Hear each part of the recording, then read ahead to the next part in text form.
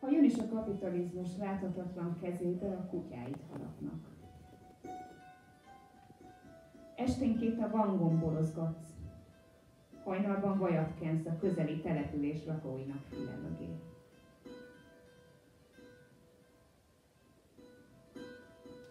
Ez a mondat egy gödör volt a földben. Nagyszüleid ásták, öntözték verítékükkel.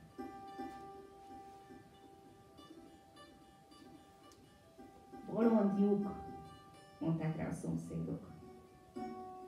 De tehettél volna mást.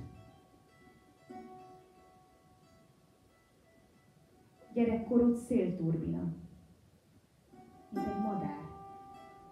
Beleszálltál, és eltörted a szárnyad. Ez a mondat a bújócska legbiztosabb búvóhelye.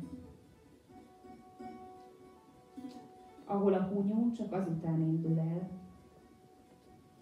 hogy egy emberöltőig számolt.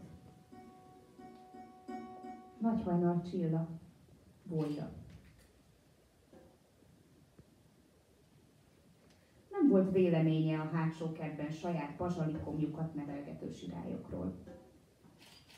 De mégis zavarta, hogy soha senki nem kérdez rá, van-e.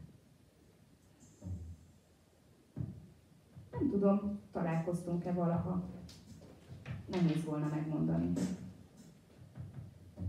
És különben se lenne fontos. Akkoriban, amikor elkezdtem egyre gyakrabban hallani róla elképzelhetetlen történeteket, állítólag a szomszédházban élt nem hozzám képest, hanem legalább 32 egymás számára ismeretlen, ilyen-olyan kellemes mániával rendelkező helyi lakoshoz. Volt egy macskája. Nem. Három. Utálta a macskákat. Nem, hanem, hogy nem régen még ő is macska volt.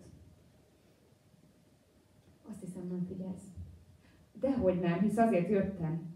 Jól van, jól van, de mintha mégse jöttél volna. Hogy már ezekkel beszélni jöttem, nem az elméleteidet hallgatni arról, hogy nem létezik valódi figyelem. Jól van, jól van, ne haragudj. Igazad van. Csak olyan régen hívtál fel, és most csak úgy. Figyelj, elmondtam, mit szeretnék hallani.